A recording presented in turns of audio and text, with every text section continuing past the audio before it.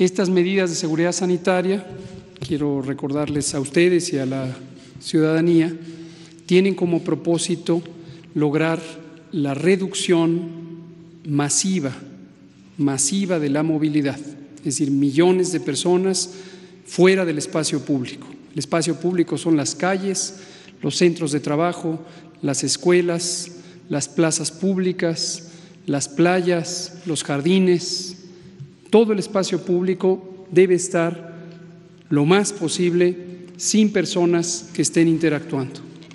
Ese debe quedar muy claro cuál es el sentido de las medidas para que todas y todos podamos seguir muy claramente esta frase lo ilustra todo, quédate en casa, quédate en casa.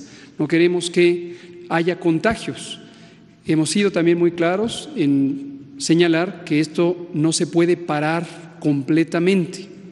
No se pueden parar los contagios, no se puede parar la epidemia, pero sí tenemos eh, la oportunidad de reducir los contagios.